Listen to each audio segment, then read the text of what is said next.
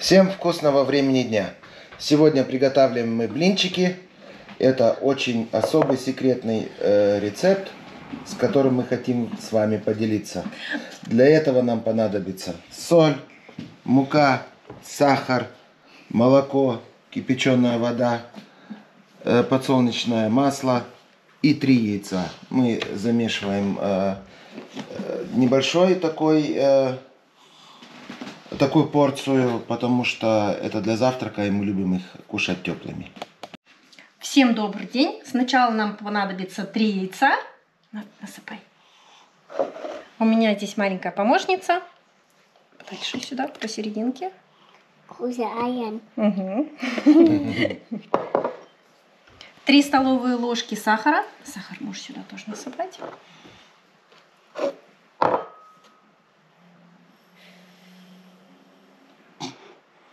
Молодец. И сначала все перемешиваем.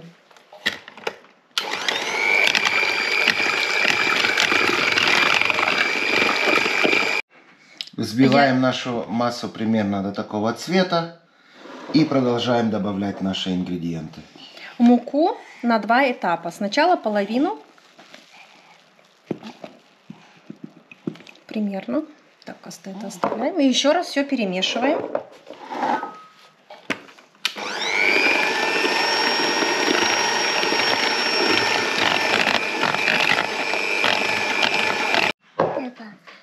Все перемешали. Щепотку соли и молоко. Молоко теплое. Э, молоко у нас 200 э, миллилитров теплого молока. И еще раз все перемешать. Это водичка на горячее. Подожди, Эмма.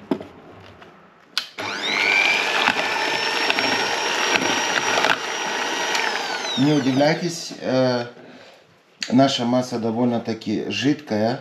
Это так э, и задумано. Теперь наливаем 200 миллилитров горячей воды.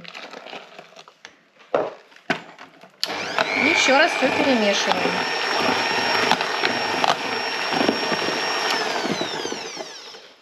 Теперь добавляем оставшуюся нашу муку. Добавляй муку. Вот сюда посерединке. Двумя ручками держи. Угу, молодец. Хорошо. Вот так вот. И еще раз все перемешиваем.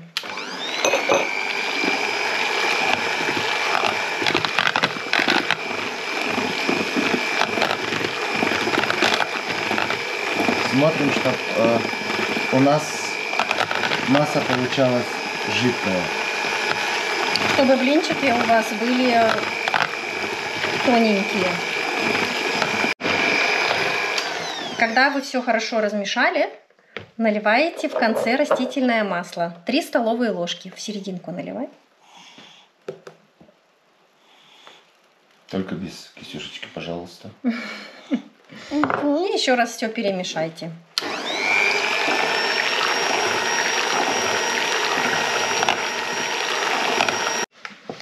Все хорошо размешали.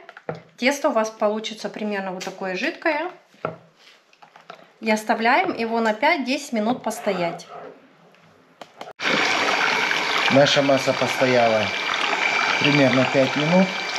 Опять ее тщательно хорошо перемешиваем.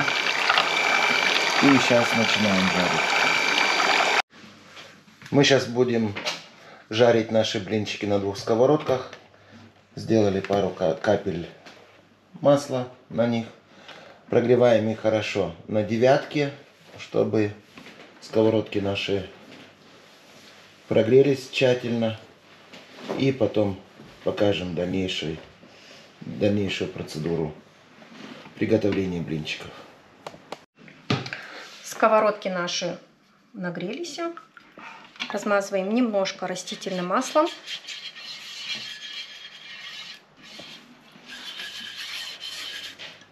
Жарить будем на двух сковородках, чтобы было быстрее.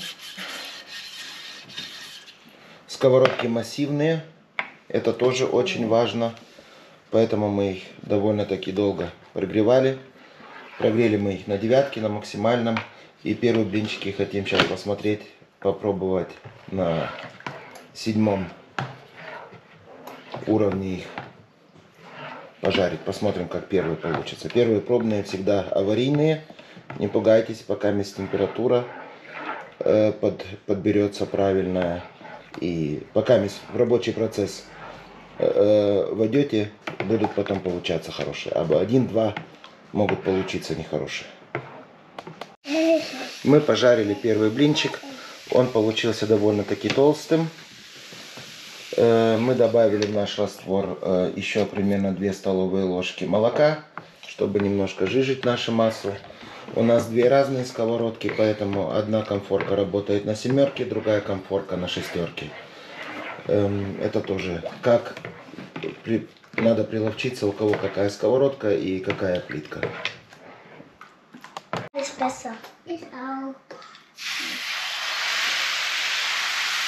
Стараемся, когда наливаем, стараемся равномерно распределить нашу массу по сковородке. Это уже немножко тоньше получится у нас блинчик, так как они должны быть. Ну, как я и говорил уже, один-два штуки, может три. Всегда аварийные, пробные, смотреть надо, как раствор подходит или нет.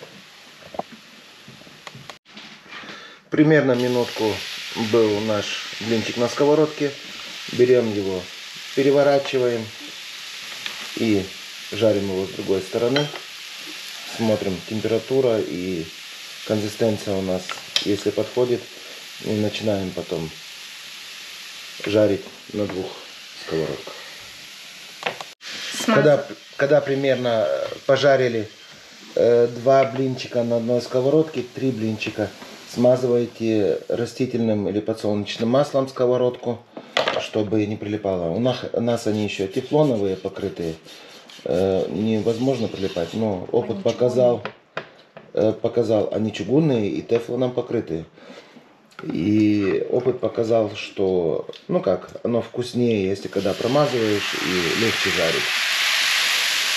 Первая сторона жарится немножко дольше, когда если вы перевернете, даже полминуты и блинчик готовы. И образовывается такой карамельный цвет, приятный. Покажи их на свет, какие они тоненькие получаются. В сеточку ну, даже вот немножко. Вот они немножко в сеточку получились. И тоненькие-тоненькие. Наш процесс приготовления идет к концу. Блинчики получились тоненькие, румяненькие. Если кто хочет, может еще в нашу массу или как тесто правильно назвать, может добавить э, ванильный сахар. ванильный сахар. Она тогда еще немножко с привкусом будет. Мы любим их натуральными. Ну все, желаем всем всего самого наилучшего. Мы сейчас дожариваем и садимся завтракать.